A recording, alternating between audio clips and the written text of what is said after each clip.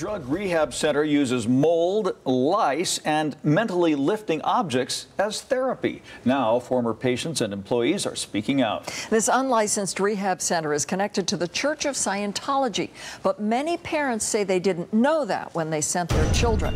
The I-Team's Nathan Baca has been investigating Narconon for nearly three years. Nathan. Well, Narconon has a drug rehab facility in Caliente that's 150 miles north of Las Vegas in Lincoln County. It's rarely inspected and isolated until now.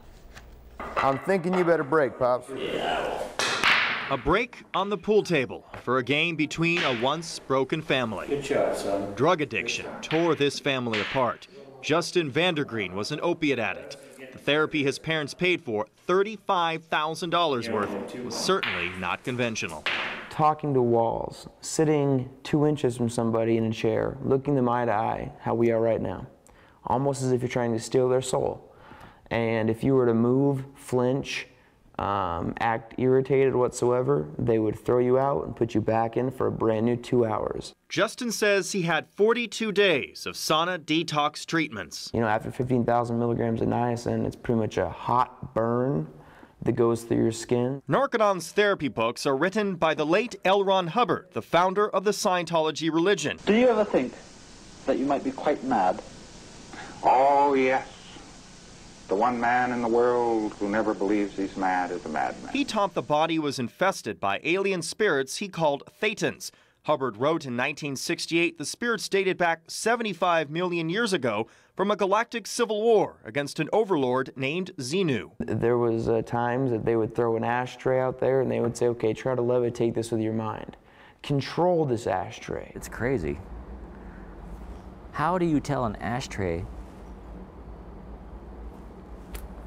to lift up. I mean, come on. John Anchondo, recovering alcoholic, is a former Narconon patient.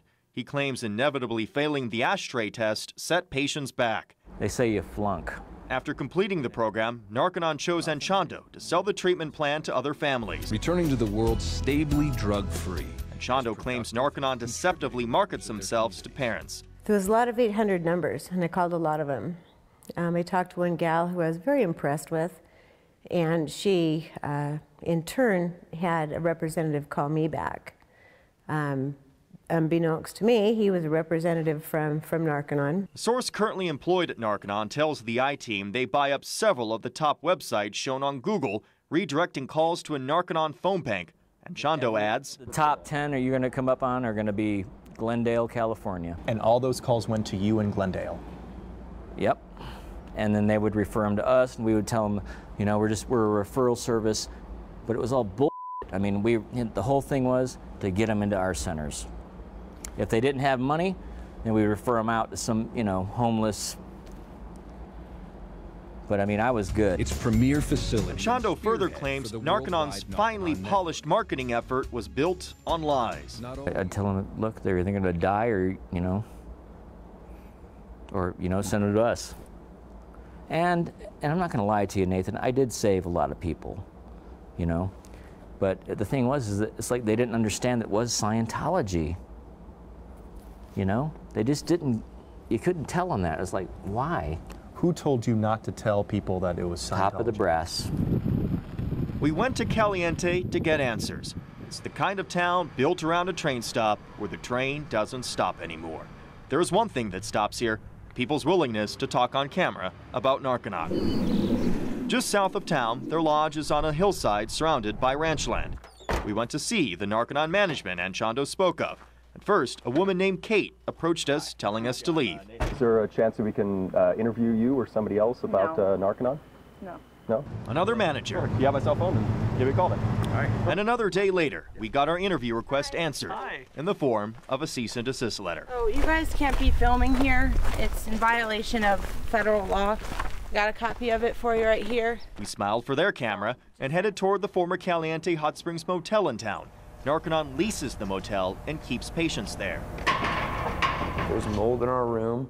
Within the first two nights, me and my um, roommate, Jan, were experiencing bites from bed bugs. The day that we returned to the station, we received an overnight package from Narconon and included promotional materials, including a letter from the executive director thanking us for our time and attention. We also received statements from former Narconon patients, but because the names were not given, we could not verify those statements. Go for the bottom half of the ball. so you get some Justin kickback. got the therapy he needed, not from Narconon, but from another drug rehab center. The smiles and the fun the Vandergreen family have now hide a pain, a pain and feeling they nearly lost their son, not from what this family didn't do, but in where they chose to send Justin. After the fact, did we let our son down? Absolutely.